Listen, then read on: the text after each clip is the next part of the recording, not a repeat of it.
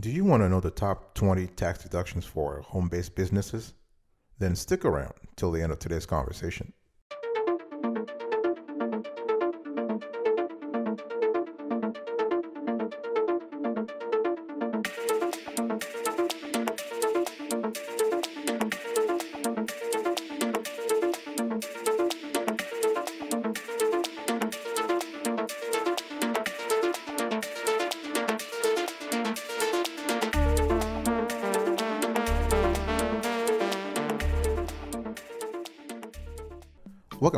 Another edition of the Awesome S'witty Kiwi Show. How are you doing today? I hope you are doing fantastic. I'm doing marvelous if you were to ask me. And if you are doing as great as I am, go grab a cup of coffee or tea or vodka and let's roll. Today I want to have a conversation about um, the top 20 tax deductions for home-based businesses. If you happen to work from home, there are a lot of ways you can make money actually by lowering your tax return. And I'm going to show you about by lowering your tax bill. And I'm going to show you today Let's first talk about number one self-employment tax.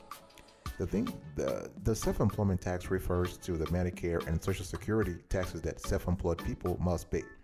And this includes when I'm talking about self-employed, I'm talking about freelancers, independent contractors, small business owners, and members of the gig economy. The self-employment tax rate is 15.3%, which actually consists of uh, 12.4% for Social, Social Security and 2.9% for Medicare. So employers and employees share the self-employment tax. So each pays 765%, 7.65%. People that are fully self-employed pay the total themselves. And uh, on top of that, you have uh, an extra 0.9 Medicare tax tax rate that applies if income is above a certain threshold amount. So the threshold figures are 250,000 if married filing jointly, 125,000 if married filing separate, 200,000 if a single.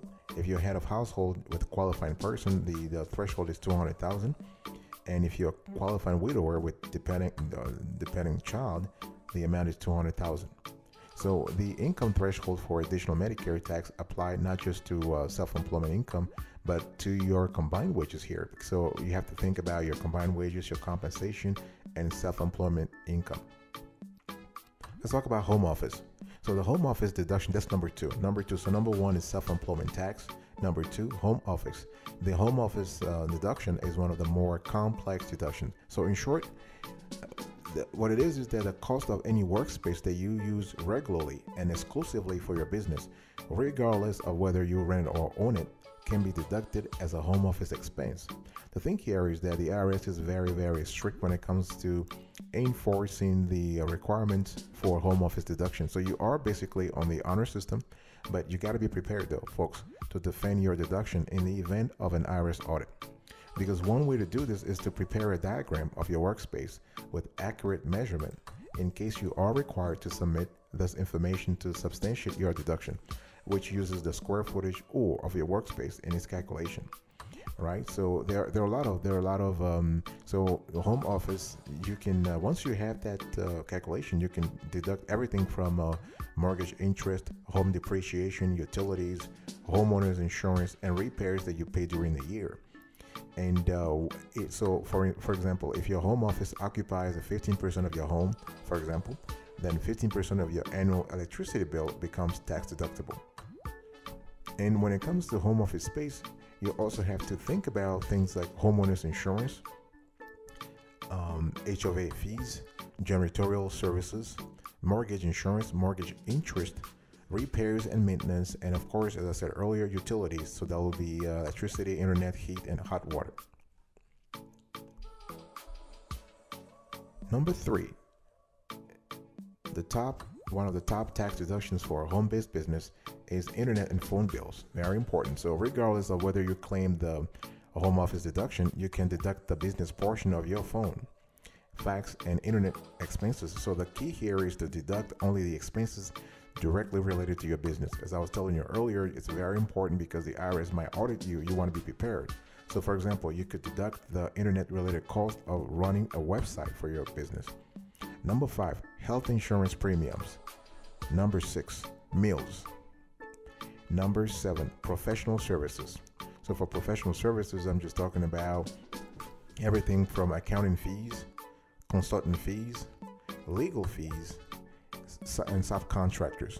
Now, for subcontractors like consultants, the the fees you pay for any the, the fees you pay to any subcontractors are also deductible under your cost of service or cost of goods sold. So when filing your business taxes, you got to remember to send both the individual subcontractors and the IRS a Form 1099 to, uh, to, for each subcontractor paid more than $600 in a given year. So if you pay someone more than $600 during the during a given tax year, you got to send that person at the end come January 31st or January uh, 15 of the following year. You got to send that, you got to send each person you paid more than $600 a form 1099 and you got to send uh, the similar form to the IRS.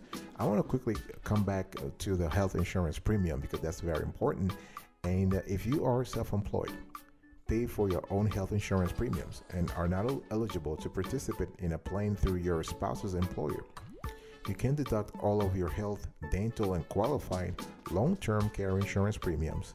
You can also deduct premiums that you paid to provide coverage for your spouse, your dependents, and your children who were younger than 27 at year end, even if they are not dependent on your taxes. So you can uh, calculate the deduction using the self-employed health insurance deduction worksheet in IRS publication 535. So this is if you have if you want more info about the calculation, you want to go to IRS publication 535. And this is kind of important because um, more and more Americans are now actually resorting to um, self-employment. So they're working from home. So and so they are they are forced, if you will, they are looking for ways to buy their own health insurance health insurance. So this is a deduction you really certainly want to pay attention to. Next is travel. Travel is a very important. Also, this is if you have a home a home-based business, travel is very important. To qualify as a tax deduction, though, business travel must be must must last longer than an ordinary work day rather, require you to get sleep or rest and take place away from the general area of your tax home. So usually it has to be uh, outside the city where your business is located. And in terms of uh, travel, let's just uh, go a little deeper here because uh, for the, in terms of travel deductions, and I'm spending some time here because the IRS in the last few years has been auditing like crazy. They've been auditing like um, crazy taxpayers who have been claiming bogus travel deductions. So travel deductions, whether it is to attend a conference or visit a friend, you can write off many of the costs associated with traveling for business. And remember, traveling for work does not mean it has to be boring, right? If you have a reason to travel for business at a fun or family friendly location, there is nothing wrong with that. And there's nothing wrong with the whole folding in a little fun along the way. So, airline tickets would definitely qualify. Hotels and lodging, meals while traveling, and rental cars. So that's for the travel. And number eight, marketing and business development. You can also write off um, everything rela- related to business development and marketing. Here, I'm talking about advertising cost. So advertising can be everywhere, though, not just uh, traditional uh, print and uh, you know print media. It can be Facebook ads, it can be online advertising. So it can be uh, Google ads, uh, Facebook ads, Bing ads, and so on and so forth if you advertise, for example, uh, so the advertising cost, if you advertise in the local newspaper, in the on, on, local TV, all of that will qualify. Conventions and trade shows. So if you, um, this is sort of falls into the the broader category of educational expenses. Here I'm talking about workshops, networking events. Those costs that are associated with attending events and conventions and trade shows can actually be deducted as long as the agenda for the convention is related to, is related rather to your business or role within the company. So that's kind of important, folks. So you have to be very careful about that. So it is important to know that conventions held outside of North America are generally not deductible. You can also write off entertainment for customers and, and clients, so money that you paid for that. That's something that's very you can write it off and um, what the, the IRS has uh, two tests here, two methods for actually evaluating the validity of uh, those um, entertainment expenses. They have something called the, the directly related test and the associated test. So things like hunting trips or cruises typically do not meet this criteria, these two tests. So you want to check with your accountant, your CPA, or your EA about specific scenarios to determine what you can and cannot write off in this category. Also, gifts to customers also will uh, qualify in the under the great uh, the the broad umbrella of uh, marketing and business development. I'll be right back right after this. Don't go anywhere.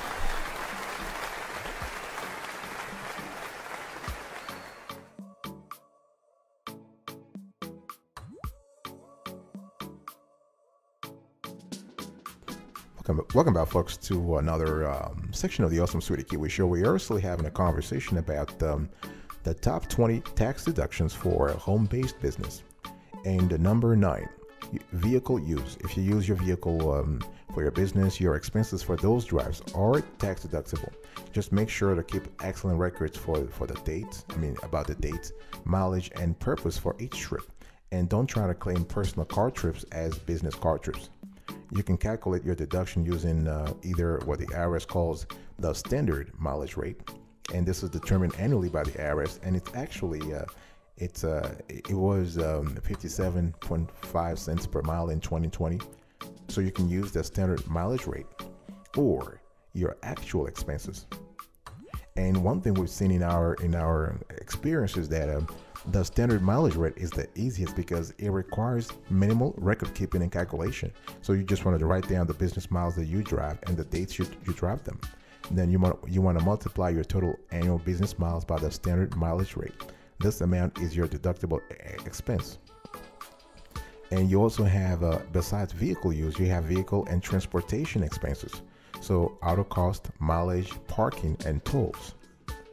Number 10, interest interest is also something you can uh, and this is this has to be interest on a business loan from a bank and that has that's that is a, a tax deductible business expense. So let's say if a loan is used for both business and personal purposes the business portion of the loan's interest expense is allocated based on the allocation of the loan's proceeds. So you'll need to track the disbursement of funds from various for various uses if the entire loan is not used for business related activities. So credit card interest is not tax deductible when you incur the interest for personal purchases, but when the interest applies um, to business purchases, it is indeed tax deductible. Number um, number eleven, publications and subscriptions. So this also, if you have uh, the cost of specialized magazines, I'm talking about journals and, and books directly related to your business is tax deductible. So a daily newspaper, for example, would not be specific enough to be considered a business expense. But uh, if you, let's say, if you are in the accounting in the accounting uh, industry and you subscribe to the magazine of the AICPA, the American Institute of Certified Public Accountants, that will be tax deductible.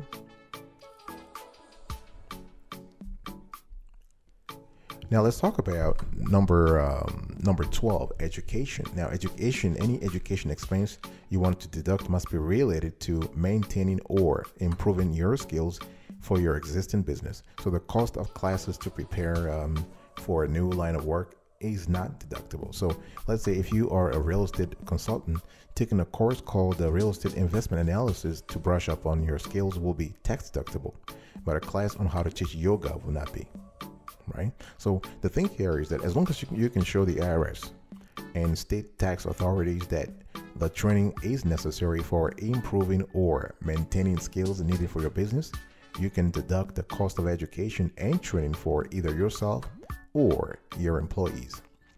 Number 13, business insurance. So if you pay premiums for any type of insurance to protect your business, here I'm talking about credit insurance, fire insurance, car insurance on a business vehicle, or business liability insurance, all of those you can you can indeed deduct your premiums. So some people don't like paying insurance premiums because they perceive them as a waste of money if they never have to file a claim, right? But the business insurance tax deduction can help ease that that hatred. Number 14, finance deductions. So here so everything from now the thing here is when you operate a small business, you can have a lot of finance related cost. And I'm not talking about interest here, interest on a loan. So the great thing here, the great news is you can deduct fees and expenses that you that your home business racks up that you will not be able to deduct as an individual. So when filing your return, make sure to account for the, the following finance related tax deductions. So you have bad debt, banking fees, credit card fees. Here I'm talking about. I'm not talking about those uh, the uh, foreign transaction fee or um, or uh, APR or annual fee or late fees, and I'm talking about the credit card processing fees.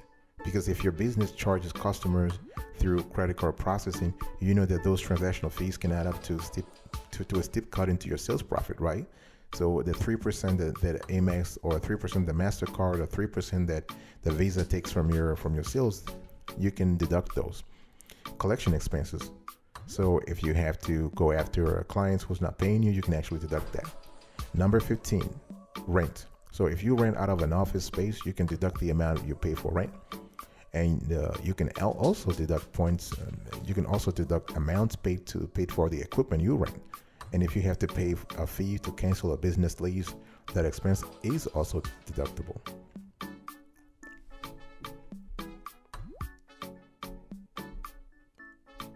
Number 16, you can actually also de- deduct the uh, the startup cost. So there are a lot of uh, costs that are associated with uh, startups, and um, the the IRS usually requires you to deduct major expenses over time as capital expenses rather than all at once. That's called amortization. And uh, however, you can deduct up to $5,000 in business startup costs in the first year of active trade or business. So, example of tax deductible startup costs include market research and travel related uh, travel related costs to starting your business, scoping out potential business locations, advertising, attorney fees, and accountant fees. Number 17, you have uh, office expenses. And so, from paper to uh, to postage and pains and shipping costs, small daily office expenses can add up to a major tax deduction at the end of the year. So just make sure you hang on to those uh, all of those uh, office supply receipts for tax time. So when I'm talking about office expense, you have uh, everything from office office supplies, postage, and even newspaper and magazine subscriptions. So those will qualify too. Number 18, advertising. So this this will be online advertising. So if you pay for Facebook ads, Google ads, a website, a billboard, a TV commercial, or mailed mailed flyers, those will qualify as well. Number uh, 19, retirement plan contribution. And uh, this is kind of this is this is a very cool one. So one deduction you can take going into business for yourself that that is especially worthwhile is the deduction for self-employed retirement plan. Your SERP, so contribution to SEP IRAs, simple IRAs, and so, and solo 401ks reduce your tax bill now and help you rack up tax deferred investment plans for later. So for, for the 2020 uh, and 2021 tax year, for example, you could easily contribute as much as $19,500 in deferred salary or 26,000 with a 6,500 catch-up contribution if you are 50 or older. And, and what, what's really good also is that you can contribute another 25% of your net self employment earnings after deducting one half of self-employment tax and contribution for yourself and the uh, the total maximum contribution cannot exceed 57,000 for 2020 and 58,000 for 2021. And the last thing, the last, uh, the, the, the, deduction number 20, the last deduction here, last but not the least, is cost of goods sold. So if your business manufactures products or purchases them for resale, you can include some of your expenses to calculate the cost of goods sold. So that's this is very important. This is very good. So so anything anything from storage, factory overhead, direct labor, and the cost of your products or raw materials, including the freight, can qualify for cost of goods sold. All right, folks. So you've had all the 20, um, the 20, the top 20 tax deductions for home-based businesses. The bottom line here is that most small business tax deductions are more complicated than this uh, short video describes because in the tax code things are more complicated, but at least you have an idea. It is a great introduction to the basics. There are more deductions available than those that I've spoken to, uh, spoken about, but there are some. The, the one that I'm talk that I've talked about in today's show are the biggest ones: office supplies, credit card processing fees, tax preparation fees, and repairs and maintenance for business property and equipment are also deductible. Still, Other business expenses can be depreciated or amortized, meaning that you can deduct a small amount of the cost each year over several years. Remember, though, folks, and this is very important anytime you're not sure whether a cost is a legitimate business expense, ask yourself is this an ordinary and necessary expense in my line of work? Because this is the same question that the IRS will ask when examining your deduction, your deductions if you are audited. So anytime the answer is no, do not take the the, the uh, deduction. And if you're not sure, seek professional help with your business tax return from a certified public accountant or an enrolled agent or even a fiscal attorney before making any decision. All right, here's a recap here. I've, I've spoken to you about 20 tax deductions, the top 20 tax deductions for a home based business. Here they are. Here's a recap self employment tax, home office, internet and phone bills, health insurance premiums, meals, professional services, travel, marketing and business development, vehicle use, interest, publications and subscriptions, education, business insurance, finance deductions, rent, startup costs, office expenses, advertising, retirement plan contributions, cost of goods sold. I'll see you next time. Thank you so much, folks. Until next time, remember, stay marvelous.